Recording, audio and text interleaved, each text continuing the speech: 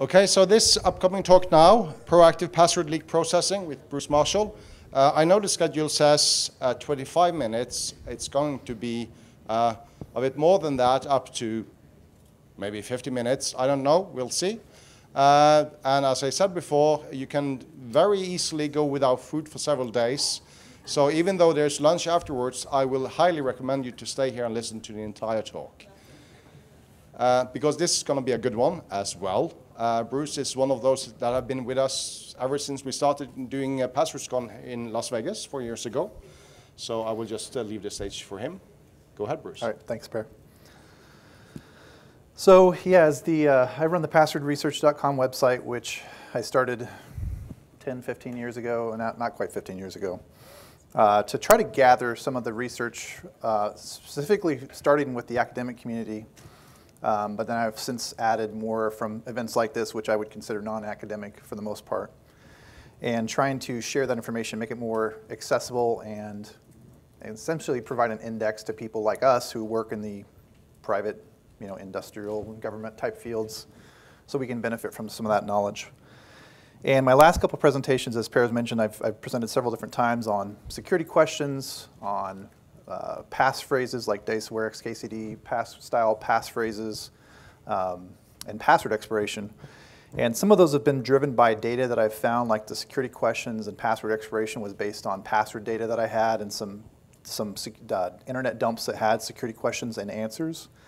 Um, and this is one that's been a little bit different because I, I started out just hearing about these companies looking at leaks, like Microsoft going out, they announced here a couple months ago they were going to start, you know, or then maybe they've already been doing it for a while, but they, they announced at least that they were going to be looking at password leaks and looking at things like that to try to protect their accounts um, of, their, of their users, their customers.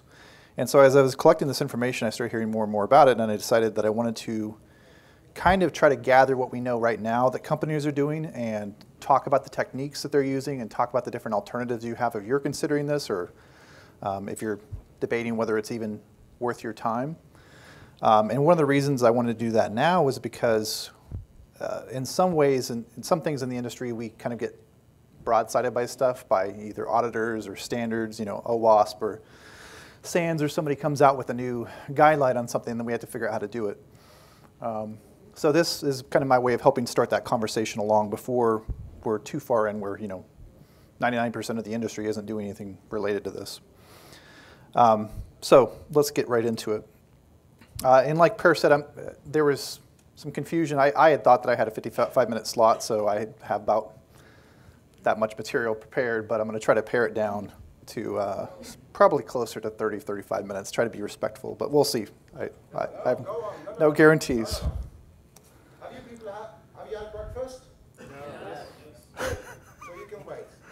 Yeah. you just, just raise your hand and Per will bring you a little cup of juice. and. I'll be looking after yours. There's no way of getting Right. So password reuse, if you're not sure what that term means, basically is a person using a password on multiple sites or multiple applications. Typically, in this case, we're primarily interested in the internet, but you could say it in a corporate environment or something like that. Um, and so to try to measure the extent of it, I'm going to give you some, some stats, and this is where I'll kind of not spend a lot of time.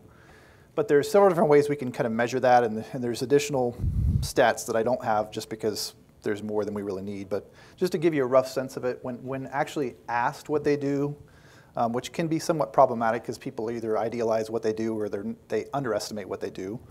Um, roughly, you know, anywhere from 46 to 60% of people say that they at least use passwords on several sites or they reuse passwords um, um for different places they go on the internet. We can actually see that too um, in some research that's looked specifically at password leaks, which password leaks are essentially if a company gets hacked, like if you were in for Michael's last presentation talking about some of the data that gets dumped out. Um, they can compare passwords between the different users that are in both of those dumps, both of those uh, that were hacked from both of those organizations, and see if they matched and, and kind of get a better feel for that. And so one of the research papers, um, academic research papers, was looking at how many had exact matches versus slight modifications. You know, maybe the password policy is different on one site than the other, so they had to add a capital letter where normally they wouldn't have one, or add a number. or maybe they, some people like to do little prefixes, like for Facebook, the first three letters are FAC, things like that, where they felt like they were reasonably predictive. Um, and I guess I skipped it on the first slide, but these numbers and brackets here, I'm big on uh, references, since that was the point of me starting my website, was to point people back to the original sources of data. Um, and I'll have the references section at the end. So if you see something you want to dig in further, just write down the number and um, you can see actually where it comes from and do some reading yourself. Um, Troy Hunt also did some comparison between Yahoo Voices, Sony Pictures, and similar type of thing. He saw that around a little bit under 60% use the exact same password within that sample, and 2% had slight capitalization differences between those passwords. And finally, probably even the most accurate or at least more insightful is monitoring what people do uh, within their web browsers. Um, and two different, one study and one kind of industry type study have looked at that. Trusteer, it's a little, data is getting a little bit old now, but I don't imagine things have changed too terribly much. Uh, had a basically a browser extension that would monitor where people were using their passwords for those, those, those customers. And I want to say that they had like 4 million different people that had that, that extension installed.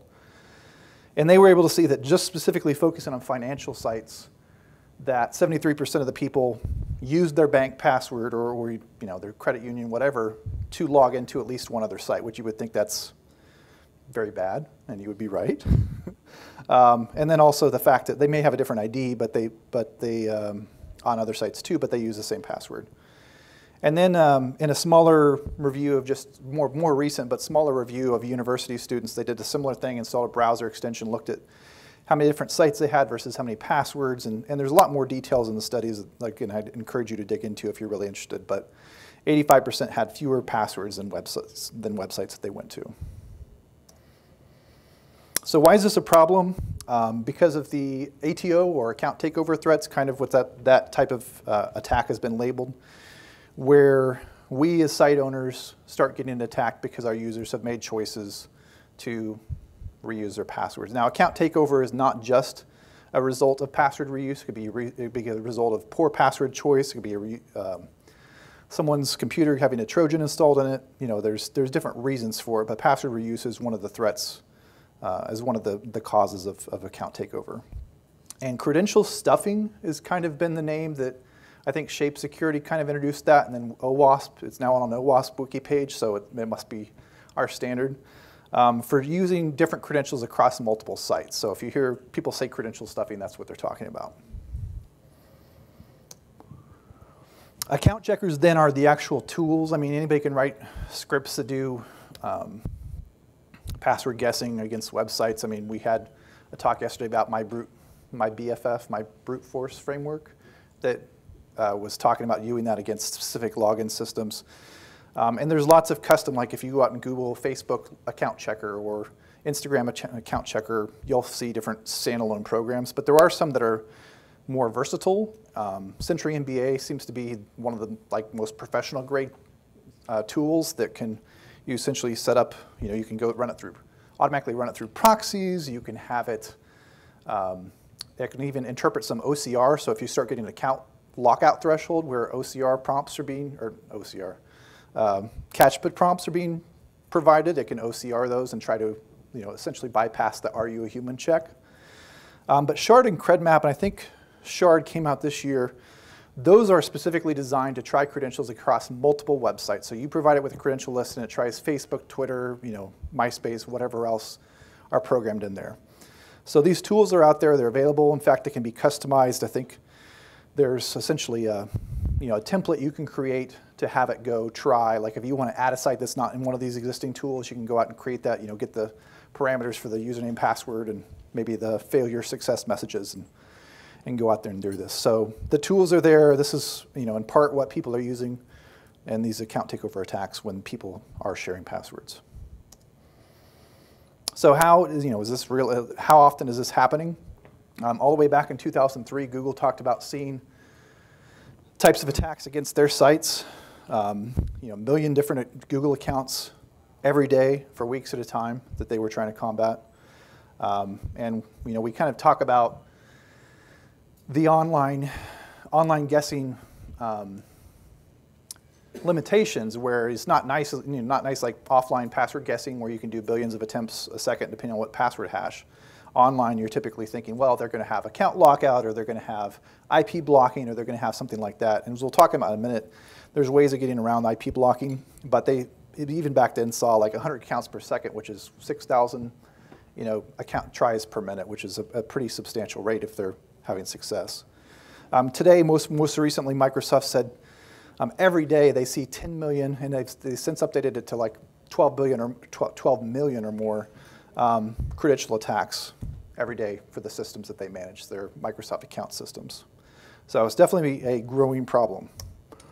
Um, yes. Did you make an outrageous speaker request? Can I? Can you make Did one? you? No, did you make an outrageous speaker I request? hope I didn't. For no brown M&Ms? Oh, oh yes, yes, yes. Thank you. I appreciate it. That was part of my rider. Thank you. You know, you never know if people are going to read those, so apparently they do. Oh, we do. We read everything. All right. So those private comments to you went to everybody. Uh, All right, all right. Um, Akamai is. tell anyone what, what, what you were actually going to do with those. Oh, okay, right. That's, I appreciate you keeping that personal. Um, Akamai monitors a lot of the sites out on the internet, and they're able to see some more insights on their customers beyond just a single customer type of a situation.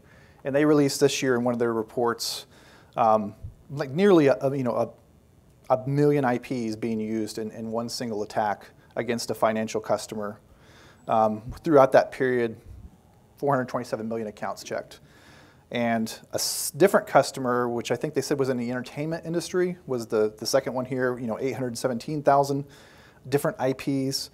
And looking at those IPs, of course, because they've got insight into both of those, they're able to see that there's about 70, 70% overlap between them. So either they're using the same botnets or it's the same gang of people running these different types of attacks, or there's, you know, there, there's definitely um, some correlation between those different attacks.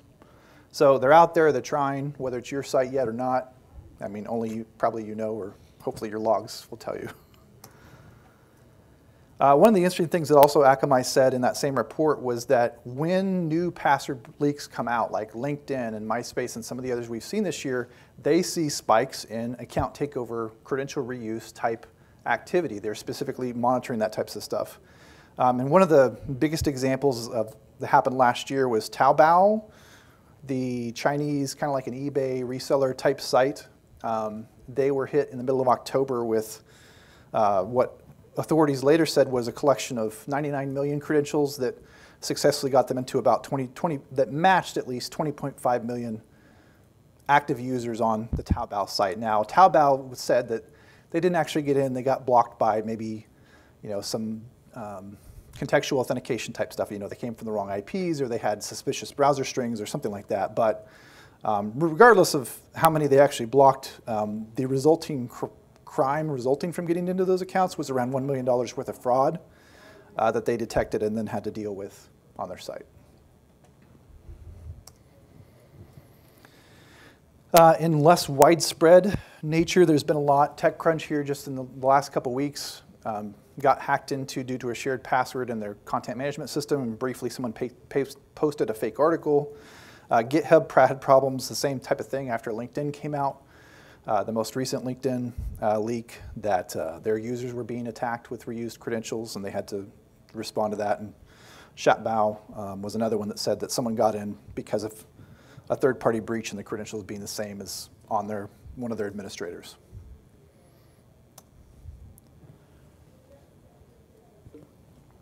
So it's hard to quantify how many people have suffered account takeover due to password reuse because we often don't know why their account was taken over unless they say specifically, oh, I had the same password between eBay and my Facebook account. But we know as far as just account compromises in general, um, roughly you know 25% of the population has experienced that in, in the past year and had to deal with the, the outcomes of that um, based on this survey. So why does that happen? I don't really want to spend too much time on this. There's lots of different reasons for people to want to get into accounts. Often you think like, why does someone in, want to get into my Starbucks account? I can understand eBay or my bank, but why my Starbucks account?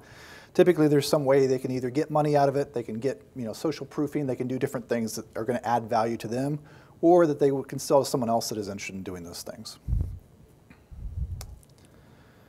So I guess one of the questions that we kind of have to answer is, is it our responsibility to care? Someone's chosen to reuse a password, and there's been research that says that people reuse passwords in, in part to deal, as a coping mechanism, to deal with the overload of passwords that they have. Um, you know, they don't try to choose something super complex so they can remember it. They try to reuse it in certain situations because they want to relieve that memory burden that they have of having, you know, if you had to memorize a password for every single service uh, or account that you have, um, that could be overwhelming. So they made the decision to reuse that password. Maybe they weren't as informed as they, should, they could have been, but they did make a decision about that. Um, so we do have the option, and, and, most of us are in that default option right now, which is we're not doing anything. We wait until a, an account gets hacked and we respond to it, and you know, we can continue to do that if we want to. So from a perspective of back to what do users know, there's an excellent paper. Um, I don't think Dr. Cranor is in here, her team at Carnegie Mellon has done great research over the last few years, but one of the papers that I recommend pretty much anybody dealing with password policy or authentication decisions is this one called, I added a exclamation mark at the end to make it secure which is where they sat down in a lab and they asked people to create passwords for like a newspaper site, a bank site, and an email account. And they looked at what they did and kind of had them talk through the process. Okay, I'm, this is my bank account, so I want a stronger password. Or this is my email, so I want it to be something I can type in quickly. They, they, they got that feedback from the people that they talked to. And then they also talked to them after the fact. Um, you know, why did you choose to make your bank password the same as your email password? Um, and so they specifically got feedback on password reuse. And a lot of people say, you know, kind of like, well, we know it's a bad thing to do, and um, I probably shouldn't be doing it. I'm not as concerned because it seems to not have any consequences for me. They're part of that, you know, maybe 75% of the people that haven't had their account taken over that they can't trace back to um, password reuse being a problem, which, you know, that's, I, you can't argue with experience. In some cases, they, somebody can reuse a password and never have problems with it. It depends on some of the other factors of if that password is going to get disclosed um, through an attack or a breach somewhere. So, but part of the problem is that they don't have the same education that some of us have as to what constitutes good and bad password decisions, what constitutes um, risky situations that may expose their password to compromise. Um, three of the different people that they talk to, you know, say, hey, if, if I've got a good password, I reuse it. I don't see a problem with that. Um, my reused password is not easily guessed. No one can guess my reused password. Well, so the researchers then took the passwords that were generated as part of this lab experiment, used Hashcat blindly without, you know, with someone that didn't know what the values were to crack those resulting passwords or attempt to crack the passwords. And two of these three people had their passwords cracked. So maybe not the best, you know, judges of, of someone being able to guess their password. So that's my perspective. Um, I guess one more here. This was a guy that uh, recently just came out here. Uh, he was contacted by a news agency because his password had been breached as part of a O2 compromise over in, in I guess, England. He talked about, well, you know, I reused that for O2 and eBay and Gumtree, and up to that point, he'd considered himself secure, on, secure online and internet savvy. So, um, you know, from his perspective, maybe he had thought his password was good enough. But the point being, um, sometimes we have to provide that guidance back to users. Um, you know, we establish minimums or we establish standards, and users say, well, if you're saying I only have to, you know, do six character passwords, then that must be sufficient. Um, so, you know, the office office space uh, flair scene here came to mind as far as that argument of, you know, well, you, why did you set the standard to this, if this wasn't sufficient? And password reuse, it's a little bit harder for us to set standards, but um, our actions do kind of speak to that same question of, is this acceptable behavior or is it not acceptable behavior? I mean, users do also kind of have mixed feelings about who's responsible for that. Um, in one survey, 56% said the sites that they visit had ultimate responsibility for their, for their account protection. Uh, and another 39% said that websites are to blame if they have account compromises because they didn't offer the right security features, whether that's multi-factor or stronger passwords or whatever it may be. Um, they're placing some of that blame on it. So I would say, you know, given this, we kind of have a shared responsibility. Um, Alex Stamos, who was who's now the Facebook CE, CSO, uh, spoke at an AppSec conference here last year, where he said he was asked in the Q&A session, what's the biggest challenge for Yahoo? And he said user security, and then broke further down and talking about how they deal with password leaks and password compromises, um, and saying, you know, in theory, there's nothing we can do about that, right? The user's choosing to share their password. They're making a choice. We, you know, we, we, we don't really have any role in that choice. But he said in practice, it means they need to kind of readdress how they're dealing with passwords, how they're dealing with their users, and how to limit the, the risk of those compromises because the user is not capable or not willing to do that for themselves. So I, I thought that was a, a very pertinent quote um, related to this discussion. So there are, there are different things you can do. We're going to focus on password leak processing, but I did want to kind of talk through these, and I'm not going to spend as much time. I was going to go into blacklisting a little bit more and contextual risk-based authentication a little bit more. Um, but one of the bad, I would say bad things you can do is to enforce regular password expiration. Um, and that's been talked a couple other sessions uh, in this conference where if people are changing their passwords every 60 to 90 days, they at least can't have an exact, they probably won't have an exact match to their other accounts because they'll be incrementing the number on the password that they've been forced to change. You know, maybe a slight difference, and as we talked about earlier um, in some of the leak processing, people are able to guess those transformations fairly easy. So not a great way. Um, incident-driven would be like Citrix GoToMyPC and uh, Pandora, was it Pandora? Let's see if I had one. Oh, Carbonite. Carbonite was the other one. Whoops, there we go. So Pandora and Carbonite, or uh, GoToMyPC and, and Carbonite detected password guessing attacks on their sites and just reset everybody's password, forced everybody to change their passwords. That's a fairly you know, scorched earth type of policy. Um, it can work, but how often are you going to be able to carry that out and not upset your users? I mean, there was a lot of people that said, I had good passwords on your site, you know, especially with Carbonite where you're doing backups with it, and now you got to change service passwords and stuff to make sure that actually continues to back up. Um, that can cause a lot of disruption that your users may not want to deal with. Um, you can design unusual password policy requirements. You know, if you start making sure that people have to start it with no space, you know, no symbols in their password, or they have to have a, uh, you know, two symbols in the middle of their password, or uh, Mark Burnett has a great site, um, PW, or Twitter feed of uh, PW2 Strong, which he retweets all the different terrible policies and different sites have. There's, there's ton, and I don't think that typically they're designed to do that, but that is one way that someone could approach this, this problem, saying, well, come up with some crazy requirement. That way our, they won't you know, possibly have the same password on our site as others. You can assign random passwords to users, um, or they don't have to be random. I mean, they could be semi-random or whatever, but you could assign passwords to users. Uh, Linux Mint was hacked earlier this year. Their, their forums were, their forums and their partner sites or uh, community sites were, their, their database for those were hacked. And as a result of that, one of the choices they made was to just randomly assign all their users passwords um, for, the, for the new passwords. That lasted about a week.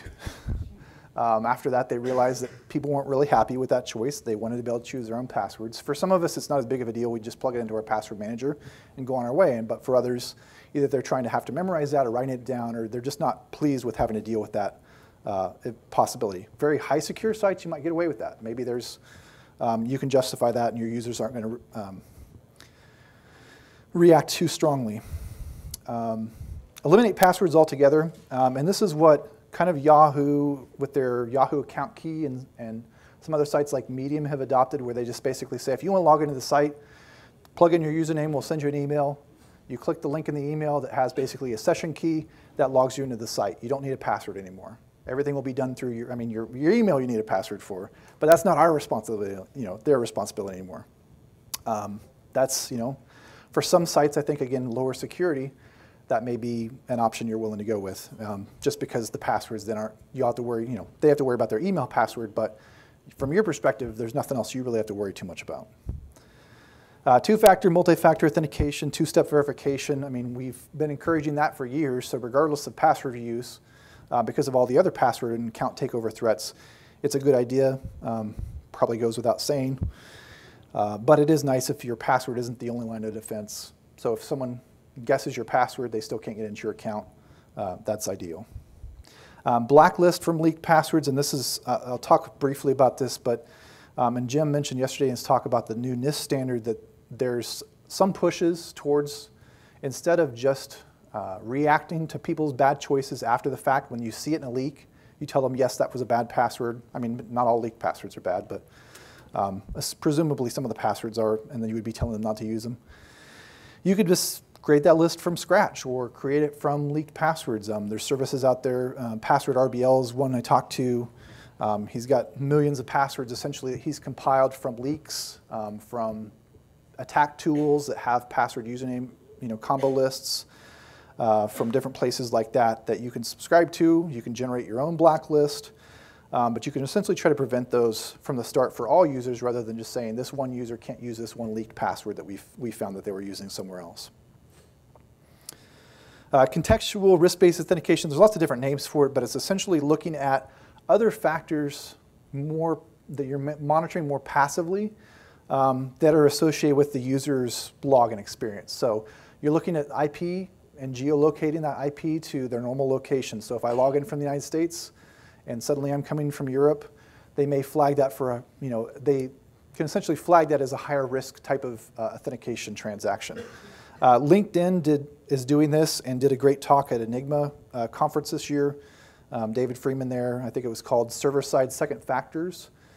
And he talked about the different, essentially the formula that they use to, to determine risk, you know, browser agent, time of day, you know, all the different IP factors.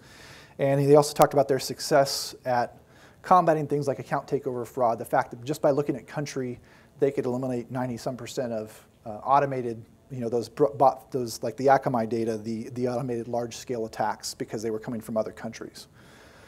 Um, and, and some of the other things like that. So that's certainly something that I think, regardless of whether you're doing this just for to combat password reuse, this is a good thing that you should be looking at if you're not already having it implemented.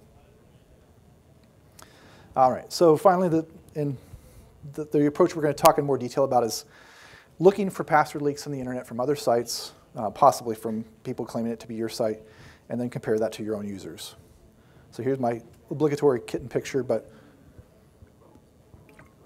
so your goals are doing this is to reduce account takeover. You probably want to eliminate, it, but to reduce account takeover based on risks that you know to be there. If this password leak is out there and other people have access to it, those accounts by, by logic have a higher chance of being attacked. So you're trying to get ahead of those attacks um, for you know, presumably the riskier accounts, at least from this perspective.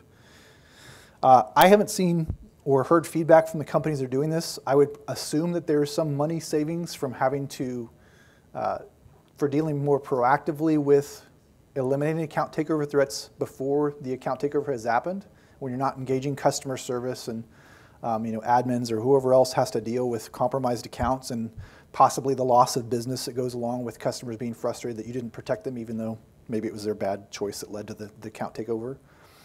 Um, and then also, as we talked about, demonstrate some security commitment to your users, to your investors, uh, your auditors, your you know, management team, whatever, whoever's kind of in that field of needing some reassurance.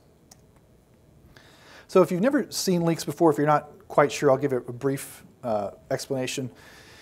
Typically, it's going to be just you know data that's posted on the internet. Um, my experience, and I'll talk a little bit about, about this, the data that I collected a couple years ago was most of the, at least the small time compromises come from things like SQL injection, uh, where sites predominantly running PHP would either not programmed properly to resist SQL injection, so the attacker can then dump their entire user database, get the passwords, you know, usernames and things like that.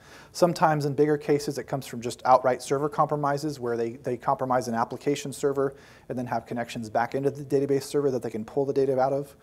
Um, but there's also cases where Trojans and malware are collecting it. Uh, I think TrustWave did an analysis about the Pony botnet, and they had several hundred thousand passwords that had been collected by the, the Pony botnet um, over, I think, a six month period or something like that. Um, phishing, of course, is, tends to be somewhat lower scale, man-in-the-mill attacks. And then there's compilations where people may just collect data over time and then will it down and say, okay, I've grabbed Gmail addresses from seven different sources, and now I'm going to put them all in one file and call it G, you know, a Gmail dump, password dump, pass, um, even though it didn't technically come from a hack of Gmail. Um, some will be duplicates. People kind of use this as a bragging right in some cases. They put their name on the top and say, "Hey, we hacked the FBI or we hacked, you know, Gmail." Um, and some leaks, of course, as, as you probably have heard, don't just contain password data. You know, the Ashley Madison uh, compromise contained all sorts of personal data. The healthcare breach that happened, that was, or I guess, was a leak that was kind of given publicity this week, has all sorts of healthcare information. So they're not just limited to, you know, username, password, email. Um, there may be lots of other data within them. So you kind of, if you're deciding to do this, you kind of have to make some decisions, and you can be somewhat flexible on this. It's not a binary, yes, we're doing everything, or no, we're not doing anything type decision. Um, probably the most important one is for you to decide if, if you're going to be looking for data that comes from your own site, looking for signs of compromise, or looking for signs that someone is sharing data that supposedly comes from your users or your employees. Um, after that, probably the, you're going to be looking at easy leaks to process. So the larger leaks that have plain text passwords that you don't have to worry about cracking anything, you don't have to worry about um, going through much effort to parse the data or, or try to go out there and, and find the data um, is another, I guess, easy hurdle to overcome. Like I said, the larger leaks. And all the leaks you can find. And this is kind of, uh, in talking with um, Michael Coates, who's the Twitter uh, privacy and security officer, he talked about that's kind of their approach is they're trying to find everything that's out there um, that they can deal with and, and try to process to protect their users. But as you might guess, that also requires greater commitment to time and resources to try to address that. So if you haven't seen password leaks before, they come in all sorts of shapes and sizes. These are some from like pastebin type sites where they're just you know text file type formats, um, you know usernames, passwords, emails. Some are going to have them in different order. Some will be tab delimited. Some will be space delimited. Some will be you know comma delimited.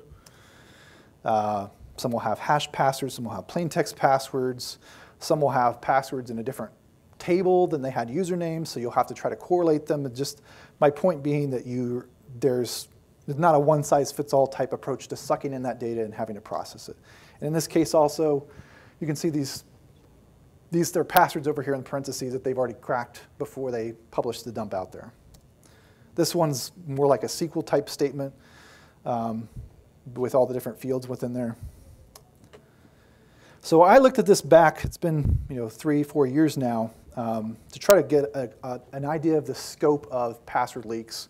And I wrote a blog post about it, which you can see here in the, the reference. But uh, essentially over a two-month period, I looked at how many dumps I could find that were specifically had, I think my criteria was more than 10 usernames and passwords in them, because some might just have like two or three, and uh, some might be some like one single person had a Trojan on the system and they dumped all his information, kind of like a doxing type of attack. But these were the different results. So December, 154 different password dumps, 125 that had specifically or, organizations or a site specifically named as the source of that dump. Whether that was accurate or not, I didn't verify it. Um, plain text passwords, there were 66 dumps and 40 dumps, you know, resulting in 221,000 and 61,000 respectively uh, passwords, and then similar with hash passwords. So you can kind of see there's some variation, as also in variation in size. Uh, the, the, dumps with less than 1,000 passwords, there was a, a, pretty good number of those. And a lot of these are just smaller, less secure sites where they throw up a, you know, a university in India throws up a, a CMS for their students to log in and get courseware or uh, a small you know, retailer, something like that, throws up a site. Um, and I didn't count up the emails. There were emails included in the December dumps, but the January dumps, I actually did say which, which percent of the dumps had emails in them to give you an idea. The rest either had just usernames or some of them may have just been passwords by themselves. To give you an idea of, are you going to be able to have access to those emails to know if they're your users or not? Um, so, you know, roughly that's, you know, this was, and this was a, a decent amount of work for me to parse through this because there was dozens and dozens more dumps that I saw that didn't have password information in them. They were just config files or other data that was not passwords that I didn't want to have to deal with. Um, and this was even, like I said, automating just the, I had to manually review them, but I could at least automate the um, scanning for them. Uh, when you were looking for, for, for emails in there, I mean, emails are being used as usernames. Did you at any point see any leaks, or did you ever think about also looking for usernames that are something else than just an email address? Like, you know, Twitter as an example, you can log in using your phone number if you have given them that uh, you can log in on Twitter using your handle, or you can log in using your Yeah. uh, email address. No, I didn't. I didn't do any counting of, of usernames specifically. Um, you can see, like in some of these dumps, like uh, this first one here on the left side, it's got a screen. I guess a s- name, screen name, maybe. That's their username, and it also has their email. I couldn't tell you what that site allowed or used as a login. Um, we know that a lot of sites on the internet, of course, use emails, but yeah, there may be cases where they could do either or. Um, and we'll talk more about whether you want to parse usernames yourselves or uh, against your own users or not, but um, that can be problematic. So that's you know that's kind of like the kitchen sink. You're you're looking for as much as you can. You're sucking that in, um, and I'll talk about some tools here in a minute that may make that easier for you. But you could also just look at the larger scale, and this is kind of a sampling of what's come out and what, what I would say has been generally available in the last few months of this year. Um, some of these didn't come from this year, like LinkedIn. We know came from I think 2013, 2012. Okay, and then MySpace is around that same time, and the Twitter one wasn't really Twitter; it was some other site, and they had 400 million entries, but only 32 of the million of 32 million of them were unique entries, and so there's you know, but you may still um, find that, that that data is still pertinent, and we'll talk about LinkedIn um, here in a little bit, but. Uh, that data may still be relevant even if it's older, but as far as general availability, um, these are kind of what you're looking at as far as large numbers. Clearly, much larger than the you know a few 10,000 password dumps that we see with just crawling Pastebin. And most of these you can't find on sites like Pastebin. You have to look for either people tweeting about them, or there's torrents, or you know maybe some file other file sharing sources in the underground. The nice thing is, I guess, once more people get them, they tend to share them more. Like LinkedIn at first was kind of more harder to get a copy of, and now it's it's fairly easy if you know where to look for it. Let's see. All right. So some tools. Netflix is one of the organizations that does process for password leaks. Um, and they came up with a tool, a Ruby on Rails application a few years ago, which they open sourced called Scumblr. And that's not really a password leak processing tool so much as an intelligence gathering tool that looks for password leaks. So it's a tool that they have for uh, data sources like the Pastebins, but also Facebook, uh, Twitter. They look for, they can scan for Twitter. Um, I'm trying to think, probably Google searches and, and some other stuff like that. But they essentially make it so if you, they, they want to put in Netflix password as a term in there, it gives them a workflow and kind of a checklist for them to go through of all the different sources that that tool's found since, since the last time it's been run. You know, you could schedule it to run daily or whatever, and retrieve that information, decide whether it's a threat you need to deal with, whether it's leaked, actual leaked passwords or not, and then um, and process it. Yes. You'll also be really careful with Scumblr. By default, it will attempt to use email. And its original email source was actually, or or its destination was not registered, so it was actually sending some of the reports to an unregistered email address. Okay. That was patched. So he, he, he- he mentioned um, Scumblr's output as far as alerting you that you need to process data from it was originally email, and there were some quirks if you're using an older version of it. So make sure you're using a current version. But that, that's kind of their solution, and it works in with some other their tools as far as, like I said, the workflow behind how they process those leaks and decide because they're looking for other stuff too. If someone says, "Hey, I hacked hacked Netflix," but they're not dumping passwords, they're also interested in that type of data. So it's more of a general intelligence gathering, but it can be used specifically for password leaks. Uh, Dumpmon is, is a Twitter account, but it's also an open source project where they are crawling Pastebin for you. And I believe that was one of the primary sources I used when I was doing my research back in 2012 and 13. Um, but you could customize that since you've got the source code to, instead of posting on Twitter, do the same type of thing. Write it into one of your ticketing systems or send yourself alerts when you find specific strings that seem to match password dumps that you want to deal with.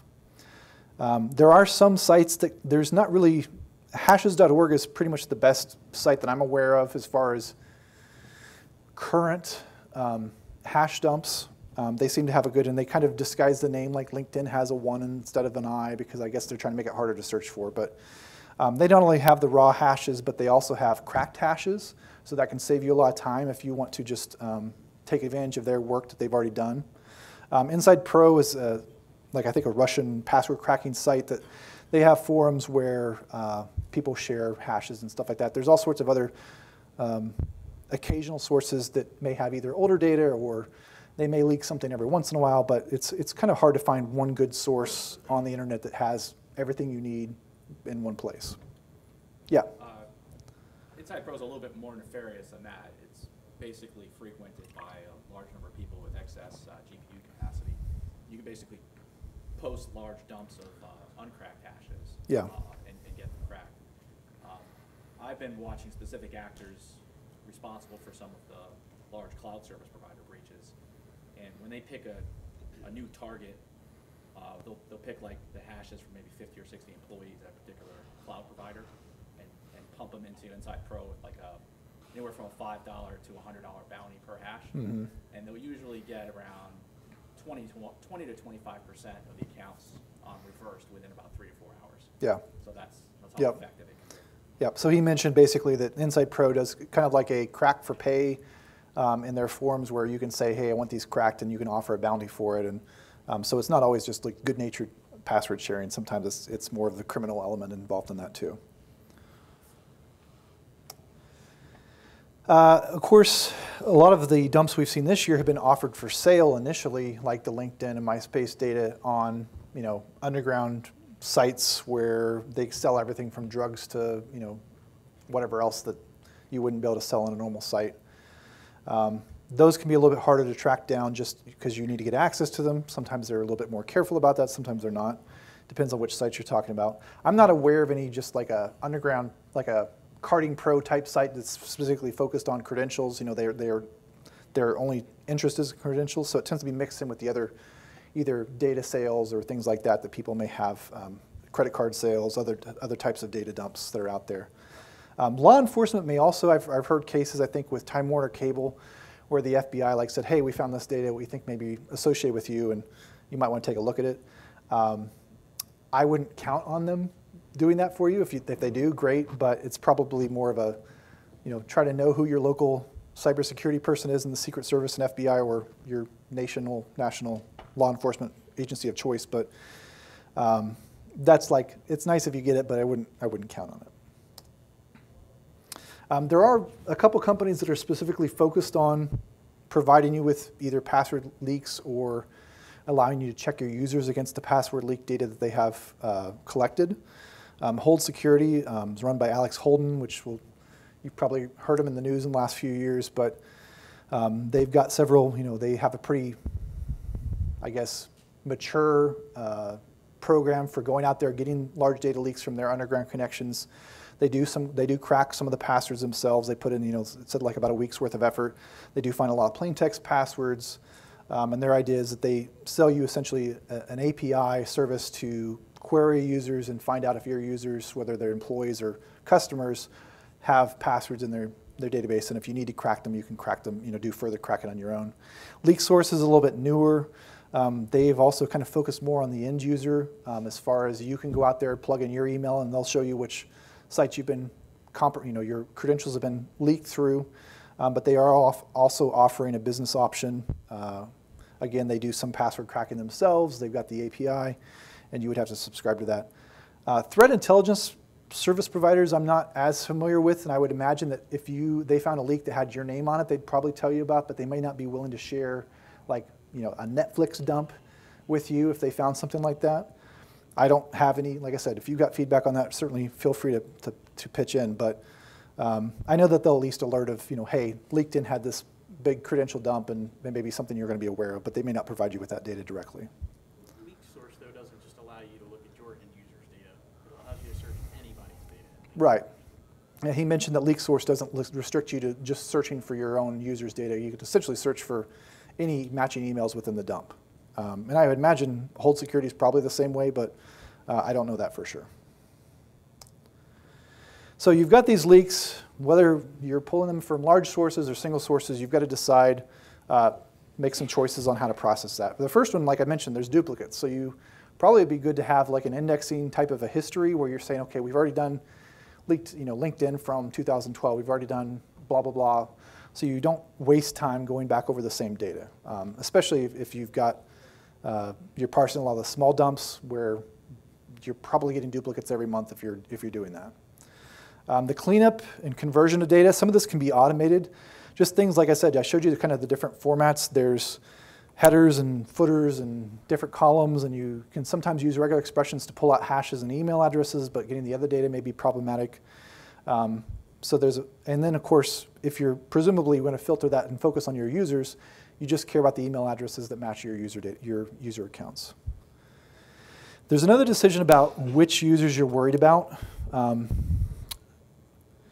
Pandora was the one that got the leaked in data, and any user with an email in that in that dump had their password reset or had you know got flagged for password reset. They didn't try to crack the passwords. They didn't try to make sure that they were the same. Um, that, as you might guess, angered some people uh, that didn't use the same passwords. Probably frustrated some others that weren't sure why that was going on. Um, and again, it's kind of like that nuclear option of we're not really willing to put in much effort into this, but we want you to be secure. Uh, so they're kind of pushing that back in the, in the, the user's responsibility realm.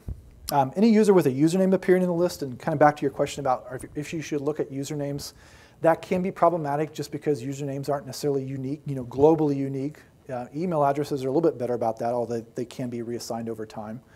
Um, but you know, J Smith is a username. There's probably a lot of sites out there with a J Smith that isn't your J Smith. Um, uh, Alex Stamos also mentioned in that same presentation from uh, the App, AppSec California that they do strip off the, the um, recipient of email addresses and check that against matching usernames within Yahoo. At least they did at the time um, for matches. So for them, I mean, but they were specifically also looking for password matches. So if the coincidence that J Smith 1 and J Smith 2 had the same password, J Smith was still getting a password reset even if he wasn't necessarily the same guy. And of course, the, the more precise option is to say if the username and email specifically match, that's who we're going to worry about putting through the reset process. So dealing, depending on what type of data you're dealing with, um, like I mentioned, sometimes you're getting hashes, sometimes you're getting plain text. Plain text, you're normally going to take that, put it through your normal hashing process. Uh, you may have to pull down the user's salt if you're salt, hopefully, please, hopefully, salting your password, so you would have to retrieve some of that data. Um, if you have an existing API that this works well with, it may be fine. Otherwise, you may have to decide to design something specifically for password leak processing, either you know because it's you're dealing with different uh, performance issues, or you do things in your normal login process that don't don't make that um, you know the right approach to take for this. Um, if they are hashed, you're going to identify the hash, you know whether it's MD5 or SHA-1 or something else, and then have to decide how much effort you're going to put into cracking that. Um, my recommendation would be to say we want to prevent people from getting their passwords cracked if they are having, you know, similar to what an attack, the amount of effort an average attacker is going to be. So maybe that's a week, maybe that's two, three days. Um, you're going to have to try to make that decision yourself. Um, as far as the different approaches, I mean, we don't really need to get too much too much into that. You're going to try different approaches to crack the passwords. Um, you can certainly customize that. Your policy is eight characters and higher. You don't have to try to crack passwords lower than seven characters that can be problematic as far as the different hashes. Um, this is a presentation, uh, data from a presentation that Rick Redman did uh, from KoreLogic a few years ago where he, over a six month period, they gathered data on what types of hashes they saw on the dumps that they were capturing. MD5 was like 40, 46% of all the dumps they saw. SHA-1 was, I don't know, 4% or it was much lower. But you can kind of see you're dealing with a lot of different options. And this is just the top ones. They had, I don't know, a list of 30 or something that that they gathered. Um, and you can look at that source for more data. But the idea just being it's not going to be an easy, everything's MD5 or SHA-1. You may have to deal with more options than that.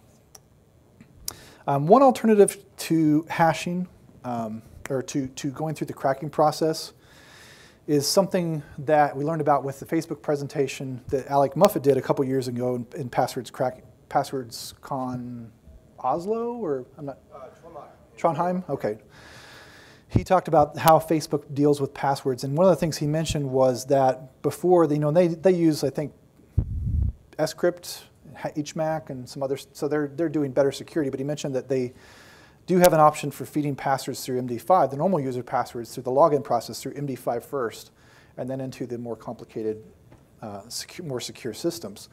So if you find an MD5 dump and you're users' passwords ahead of time have already been hashed with MD5 initially, and then your more secure alternatives, you can just skip that MD5 hashing process and put them through your more secure process.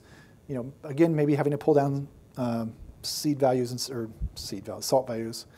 But you could make that comparison even without having to crack the original password. Just like I said, assuming MD5 to MD5, SHA-1 to SHA-1, you've, you've got comparable uh, types of approaches. Um, if you're going to do that for more than one, like if you're going to do MD5 and SHA-1 and who knows what else, you may have to have additional records stored within your account database. You may not want to go through that much trouble. It kind of depends on how serious you want to take it and save yourself some trouble.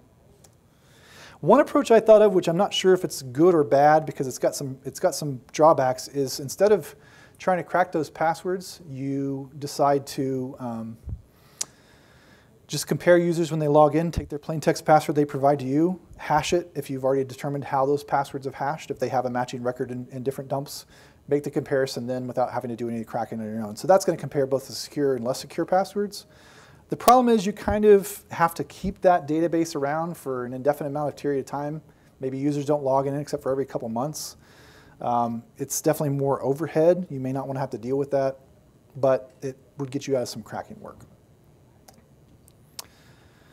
Uh, so what to do and tell your users? Um, you could just notify users. You don't have to necessarily force them to reset their password. Um, that's kind of what LinkedIn did. LinkedIn, the initial dump had like some 6 million passwords in it. So I understand that they made those users reset passwords if they had a matching password. Um, but the most recent dump that had all you know 117 million um, accounts in them um, had not been reset for the most part. In fact, LinkedIn reported of those like 117 million users, more than 100 million had not reset their password at all. And that was after all the media attention. You know, LinkedIn was in the news a lot about being breached and passwords being compromised, but they didn't tell users to change it. And some users probably said, if I don't, you know, LinkedIn's not telling me to do it, I don't need to worry about it.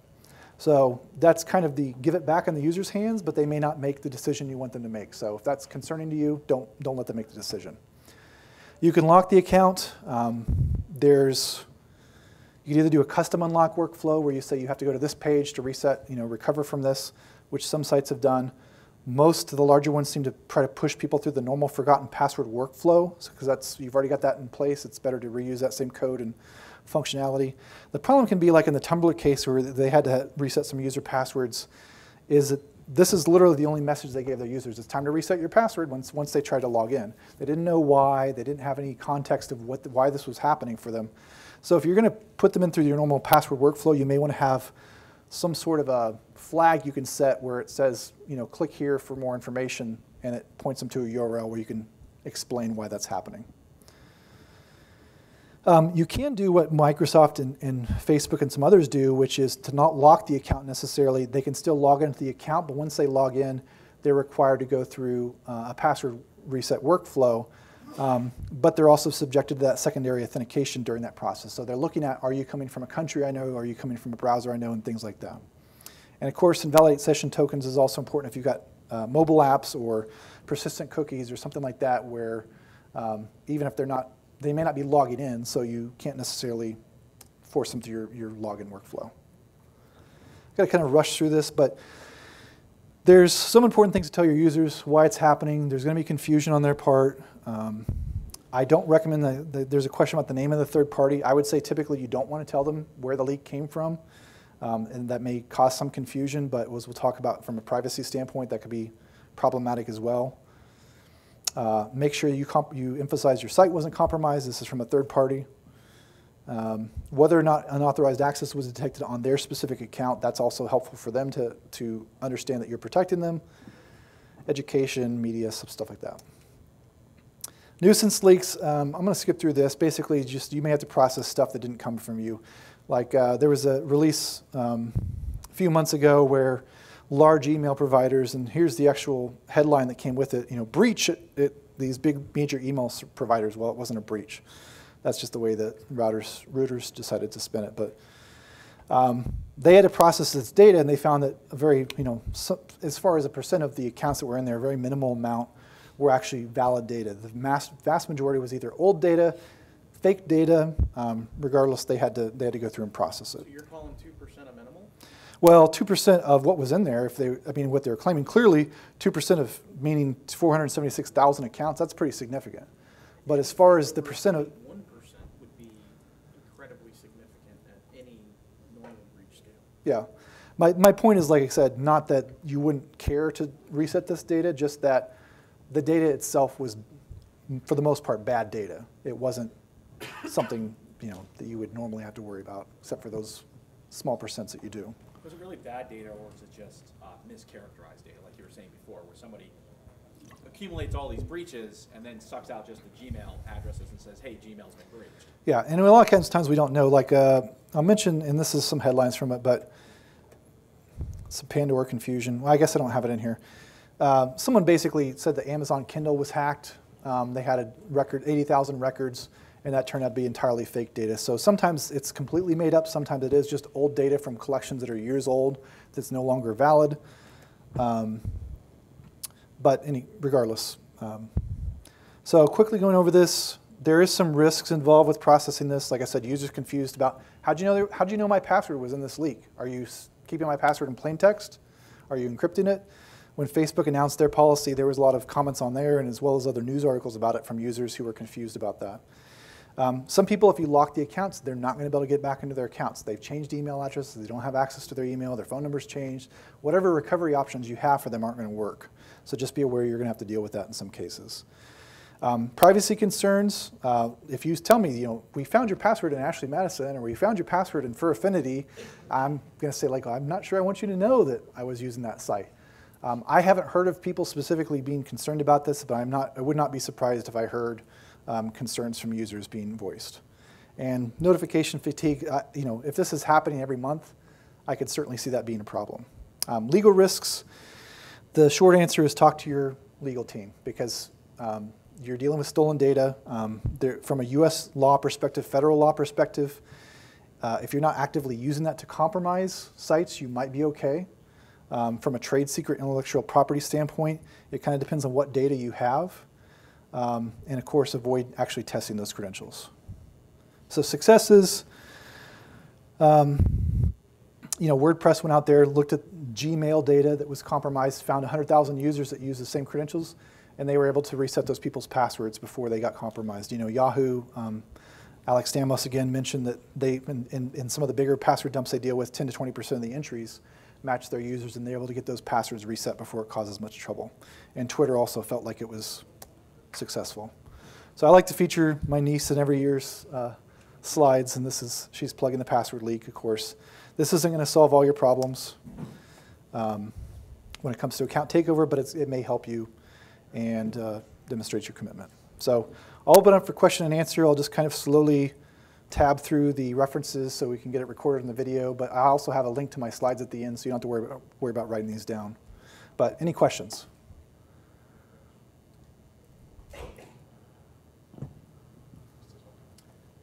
Uh, this is really just more of a comment, maybe to help. Um, I recently did a uh, analysis of the LinkedIn data uh, against a large uh, e-commerce site, and uh, just against the subset of commercial customers, there were a about a 16% overlap between the LinkedIn data and their active customers, and of those approximately 300,000 users, uh, only 10% of them had changed the password since the LinkedIn breach. So yeah. that kind of gives you some sense of what the potential exposure is from these breaches and giving you the incentive to go, you know, to go down this road. Yeah.